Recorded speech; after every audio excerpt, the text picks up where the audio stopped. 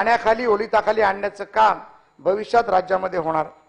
अंत्योदयाचा मार्ग साध्य करण्यासाठी अनेक अनेक वर्षापासून दुर्लक्षित समाज घटकांचा विकास करण्यासाठी अनेक महामंडळं बनवली गेली. माननीय आमच्या भाईनी सांगितलं की महामंडळं बनवू नका. महामंडळे बनवल्यामुळे खर्च वाढतो.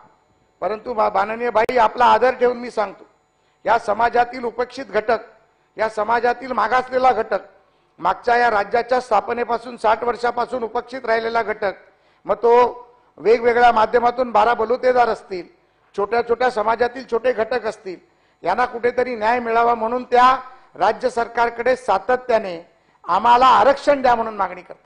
परंतु काही वेळेला काही माननीय सुप्रीम कोर्टाच्या गाईडलाईन आहेत राज्य घटनेच्या काही गाईडलाईन आहेत. त्यामुळे कदाचित आपल्याला त्या आरक्षण देता येत नाही. पण आरक्षण न देता या समाजातील घटकाला कुठेतरी पायावर मजबूत उभं केलं पाहिजे. त्यांच्या तरुण तरुणींना शिक्षणासाठी कुठेतरी वाव दिला पाहिजे. रोजगाराच्या माध्यमातून स्वयंरोजगाराच्या माध्यमातून त्यांना कुठेतरी त्यांचा विकास केला पाहिजे. आणि त्यासाठी महामंडळ बनवली गेली. आणि ह्या महामंडळ बनवण्याचं मी मनापासून अभिनंदन करतो. आणि हे करत असताना महिलांना प्राधान्य देऊन लेख लाडकी योजना करण्याचं काम केलं. मला आमचे एक सदस्य पाटील साहेब रातुळेकर पाटील साहेब हे मला सांगत होते माननीय मंत्री महोदयजी.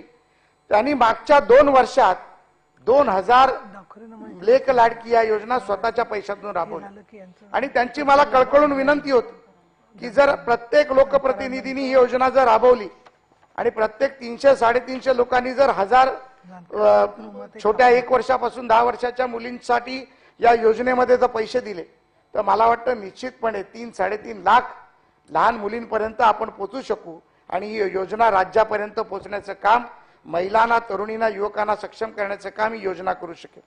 एस टीमध्ये सरसकट महिलांना पन्नास टक्क्याची सूट दिली वरिष्ठ नागरिकांना शंभर टक्के सूट दिली.